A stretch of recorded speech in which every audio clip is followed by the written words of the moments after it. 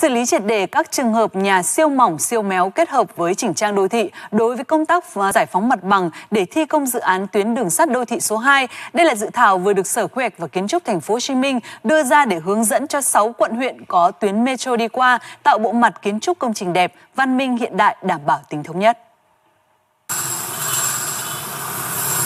Hai bên đường cách mạng tháng 8 quận 10 thành phố Hồ Chí Minh, công tác giải phóng mặt bằng vẫn đang tiếp tục diễn ra để chuẩn bị xây dựng tuyến metro số 2.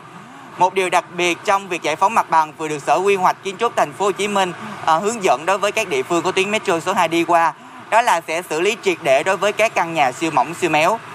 Cụ thể là đối với các diện tích nhỏ hơn 15 m2 có mặt tiền hoặc là chiều sâu so với chỉ giới xây dựng nhỏ hơn 3 m thì chỉ được cải tạo sửa chữa chứ không được xây mới.